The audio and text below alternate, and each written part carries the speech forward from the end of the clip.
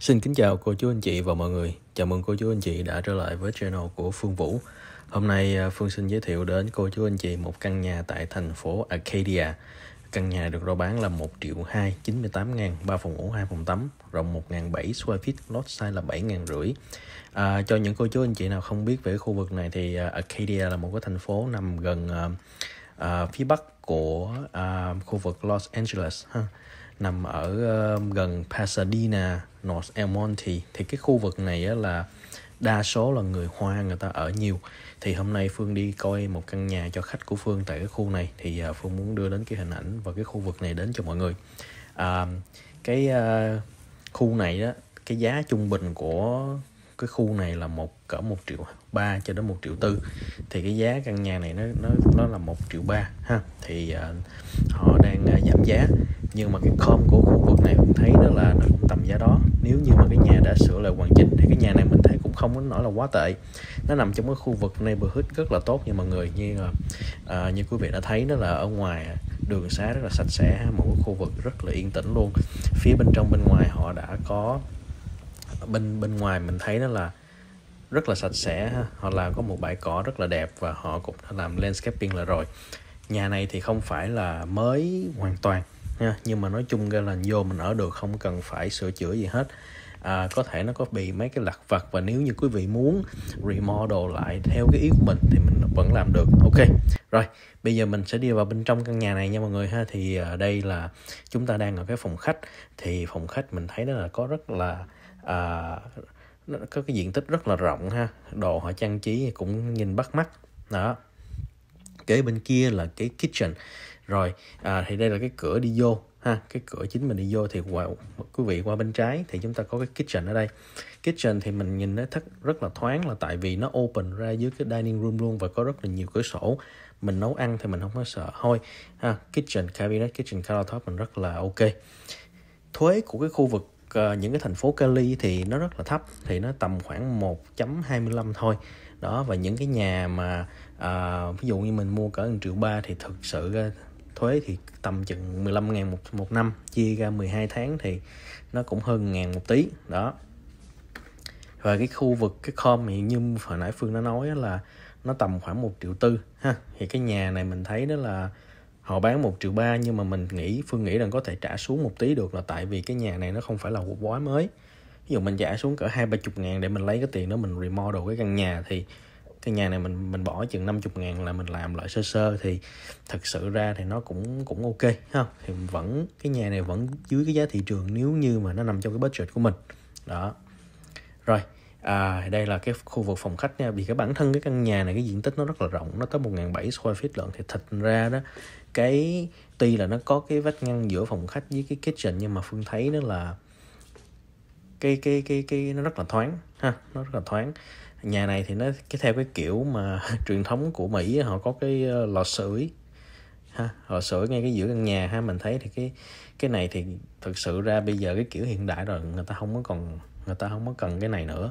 Đó, nếu mà mình có thể remodel, mình bỏ thêm tí từ mình remove cái này ra luôn thì cũng được. Tại vì phương thật sự là phương không thích những nhà mà có cái fireplace mà nó nó án ngữ giữa căn nhà như vậy thì nó thành ra nó nó lấy diện tích của căn nhà khá nhiều.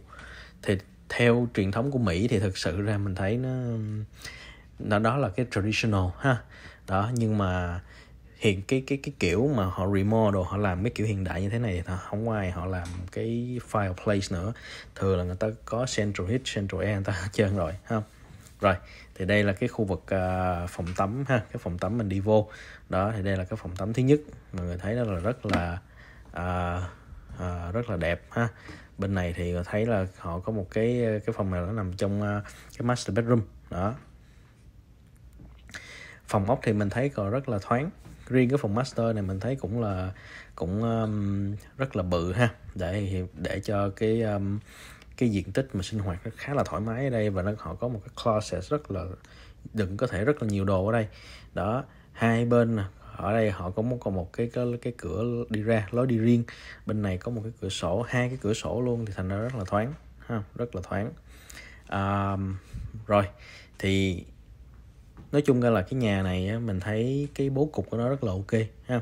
Mình đi qua bên đó mình vừa vô thì mình đi thẳng uh, bên trái thì mình ra cái nhà bếp và cái cái phòng ăn ha. Kế bên là living room mình đi thẳng xuống là phòng cái à, phòng ngủ và phòng uh, cái phòng ngủ với phòng tắm còn lại ha.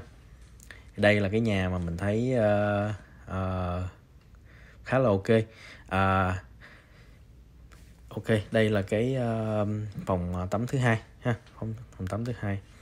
Đó. Thì phòng này thì là có có cái phòng có cái shower đứng. Đó và mình thấy họ có cái um, cái cái header mà nó nó, nó họ build trong cái tường luôn á. Thì không biết là cái nhà này họ họ có cái cái cái uh, central heat hay không.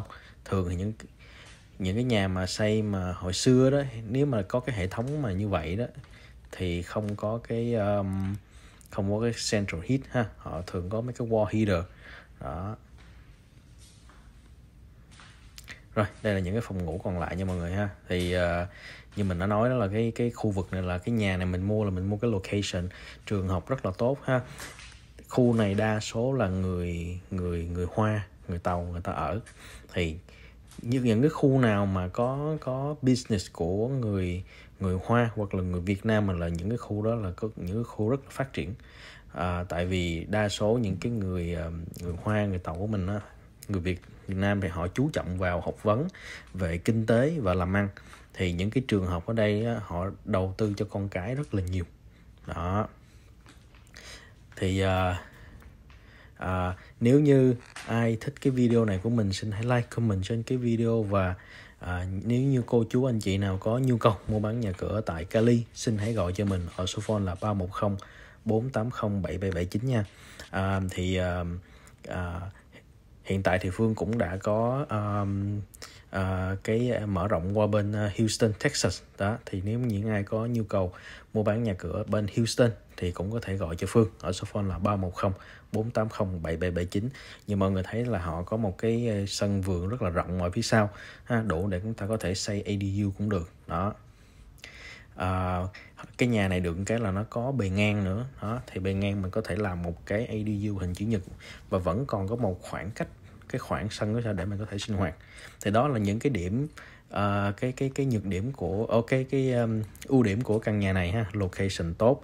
Ở nhà thì có nhà rộng đất rộng ha họ còn có um, uh, uh, uh, có có nhiều khoảng trống để chúng ta có thể xây ADU ha. Làm gara cũng gara detached đó convert gara là luôn làm ADU là rất là ok. Nếu như mọi người à, mua nhà lần đầu tiên mà budget không có nhiều ha sau này muốn đầu tư thì dễ nhất là xây lại garage. Đó. Họ có một cái driveway rất là rộng ở đây đó, đậu khoảng ba bốn chiếc xe đây cũng được nữa không nhà một căn nhà rất là ok rất là lý tưởng ha. Rồi. Và nó cũng uh, dưới giá thị trường khá nhiều. Rồi à, cái nhược điểm của căn nhà này thì mình thấy là vô cũng khoảng cũng khoảng uh, phải cũng phải remodel lại một tí. Ha. Đó bỏ cái vài chục ngàn remodel. Vậy thôi chứ mình không thấy cái điểm yếu về căn nhà này. Đó. À, vô thì có thể là sửa lặt vặt thì đương nhiên nhà cũ của Cali thì nhà nào cũng giống như nhà nào vậy thôi. Nó sẽ có những cái bị cái này cái kia không? Thì chủ chủ yếu là nó có bị nặng nhẹ hay không thôi. Mình cái đó là mình phải biết. Rồi à, mình xin dừng cái video ở đây nha mọi người. Xin uh, hẹn lại hẹn gặp lại cô chú anh chị